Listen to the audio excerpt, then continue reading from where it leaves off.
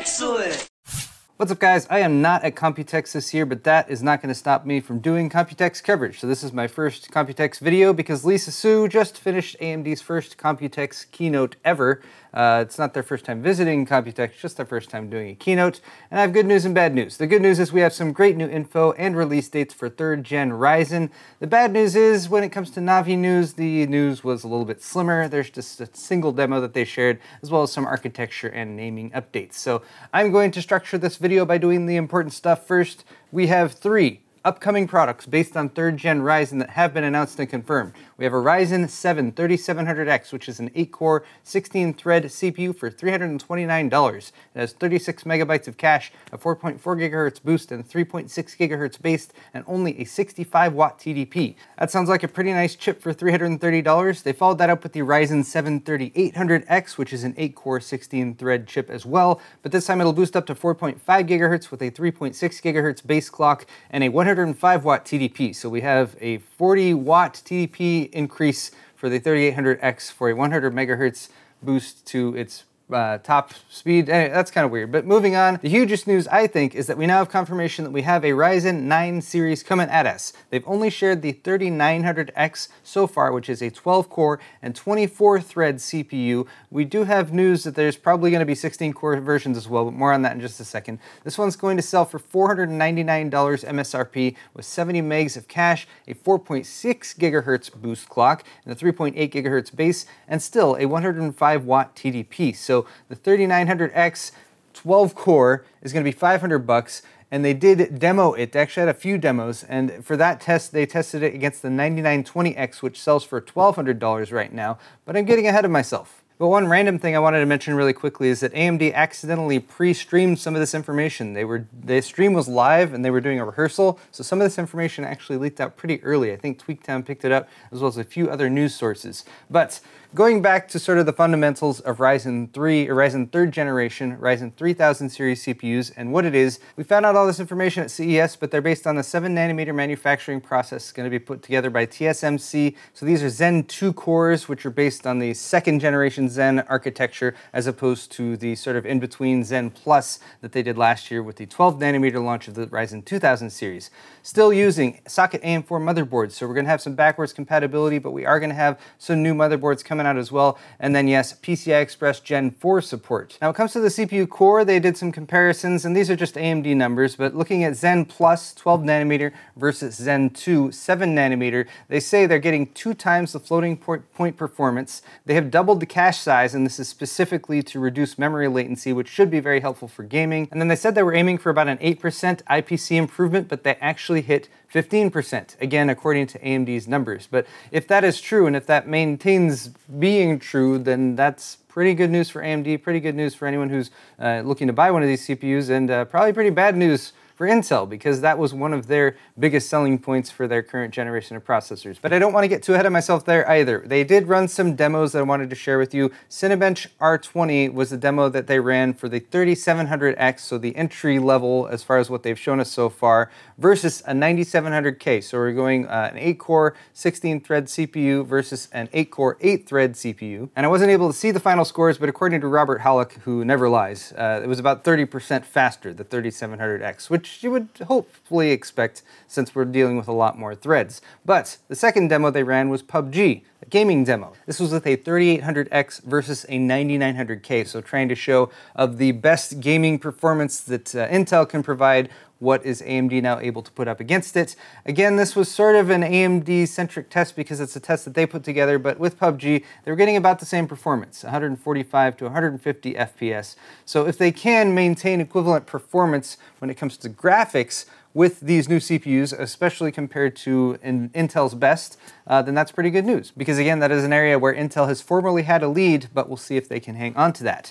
The final demo was for the high-end chip, and this was using Blender, testing the $1,200 9920X which is on their high-end desktop platform with the X299 chipset. Uh, that got 38 seconds in the Blender render versus the 3900X's 32 seconds, so about 18% faster. And according to them, this was a core to core test, although we can't exactly verify that uh, both of these chips were running at the same frequency across all cores. So we should take this with a grain of salt until we can see some independent third party testing, but it does look promising. The final demo that they shared was a sort of full demo with their entire ecosystem since AMD makes processors as well as graphics cards with their Radeon division.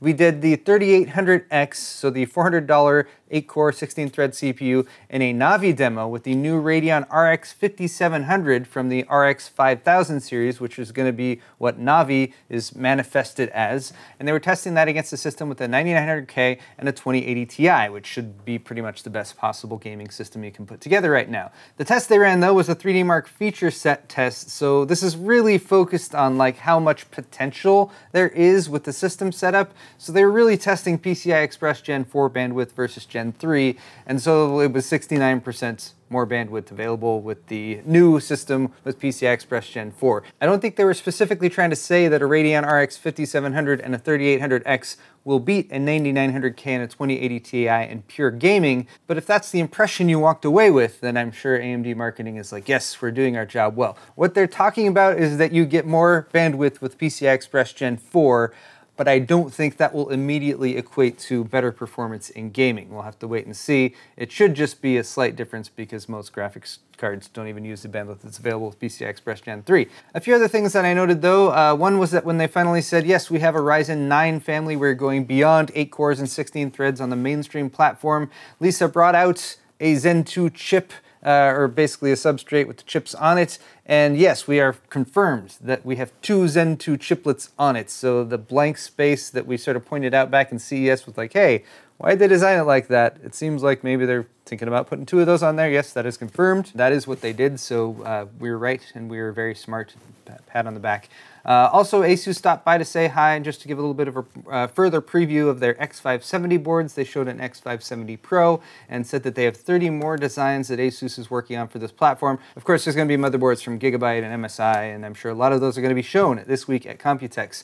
There is some more information that has been floating around, though. Specifically, Gamers Nexus, if you didn't already see it in the recent hardware news video, has said that they have confirmed with their sources in the industry that yes, there will be 16 core Ryzen 3000 series CPUs. AMD hasn't confirmed anything beyond that 12 core that they just announced, but uh, hopefully we will see 16 core versions as well. And they said that when overclocked, they're pushing 300 watts when it comes to power draw, which is a lot, but that's overclock numbers. So um, just some info, I think, from some of the vendor partners who have been testing with early samples of the chips.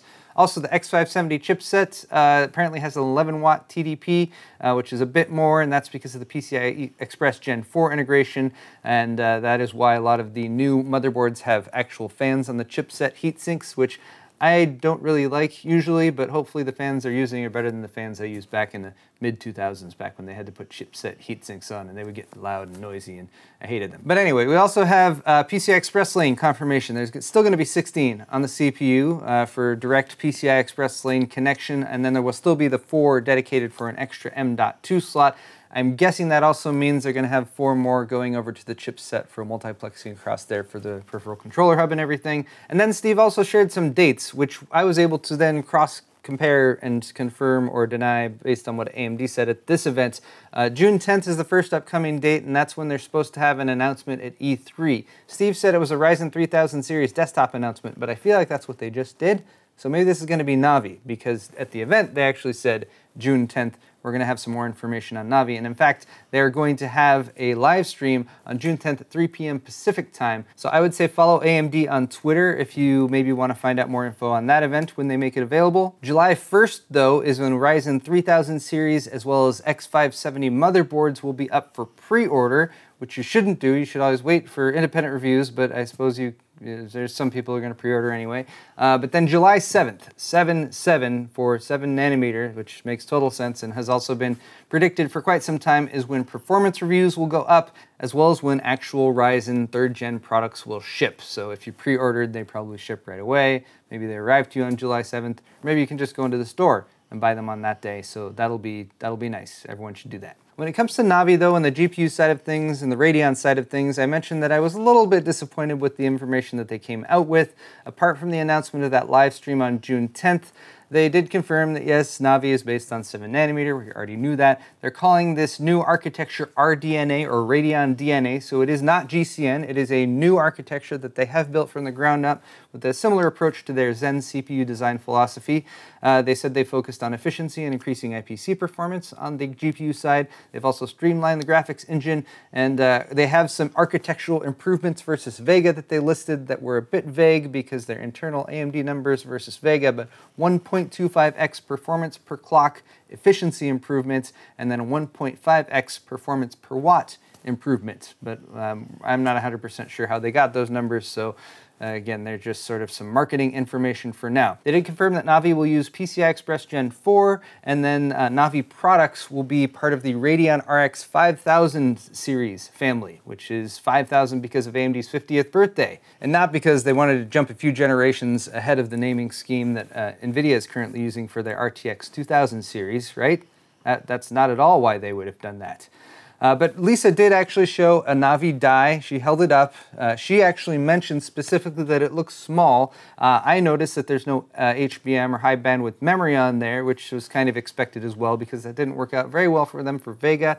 Uh, but my question, since I mentioned it's small, is is there going to be a bigger version of Navi? Maybe, that's possible. And then they did show a Navi gaming demo using Strange Brigade and showing that their Navi chip, which is an RX 5000 series, I'm guessing it was an RX 5700 like they used in that last demo, uh, but they're getting 100 to 110 frames per second with the RX 5000 series GPU versus an RTX 2070, which is getting 90 to 100 frames per second. That is about 10% faster for the Navi GPU, but I do want to point out that Strange Brigade is known as being a very AMD-friendly title, or a very Radeon-friendly title um, when it comes to game performance. So Again, take that with a grain of salt. But guys, that is all the information I have to share with you for right now. I hope you've enjoyed this video, just trying to boil down that hour and a half long keynote to something that's a bit more palatable for you guys. Hit the thumbs up button if you enjoyed it, and stay tuned because I will be doing some more Computex videos this week. Not as many videos as I do when I'm actually at Computex, but I'll just try to pick and choose the things I think are most interesting and share that information with you. Thanks again for watching, and we'll see you next time.